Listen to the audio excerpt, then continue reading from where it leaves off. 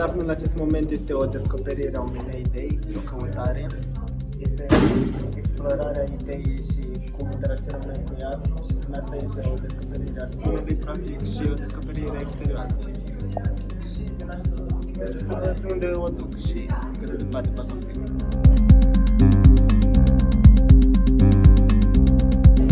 Proiectul meu actual de licență intitulat Insatiable Fame a avut ca scop prezentarea în antiteza a cele două tipologii de faimă pe care le-am ales, anume tipologia de faimă a artistului stradal în comparație cu cea a omului cotidian unde vom putea observa diferențe totale. Artistul stradal tot timpul încearcă a-și masca identitatea sub numele pseudonimului totodată în același timp lucrările mele prezintă niște note personale în perioada în care am debutat ca artist stradal, iar a doua lucrare, mai mult viața pe care am petrecut-o în Pitești, în cartierul meu, totodată foarte multe amprente personale.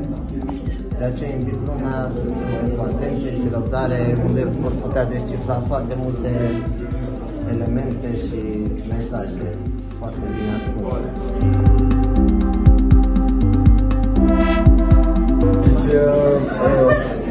Tema mea de licență a fost Utopia și Distopia. Mi-am creat o proprie lume. Uh, am plecat de la ideea că niciodată n-am timp și chestia asta mă enervează mereu. Și ca tehnică am folosit xilogravura, o tehnică pe care am dezvoltat, am, m-am axat mai mult din anul 2 și am început să desenez modul cum aș face o xilogravură mai departe tot xilogravură o să, o să lucrez, nu știu, probabil și cu alte medii de gravură. Cam atât.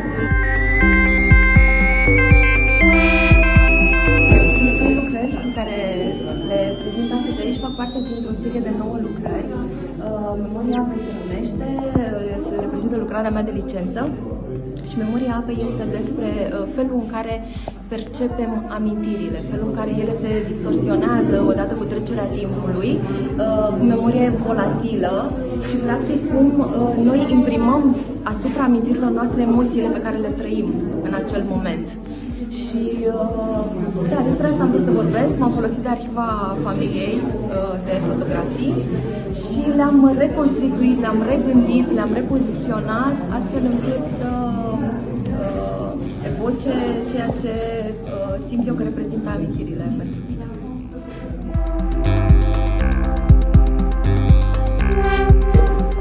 Ce am vrut să urmăresc la licență e este legat foarte mult de cuvinte și de cât de volatile sunt ele, de cât de ușor pot fi interpretate, de cât de ușor își pot pierde sensul. Uh, ele cumva au fost uh, transmise vizual sub forma unui cub, care de-a lungul seriei își pierde cumva calitățile, care sunt foarte structurate la început, iar pe parcurs devine din ce mai volatil, își pierde cumva seriozitatea, ca să zic așa.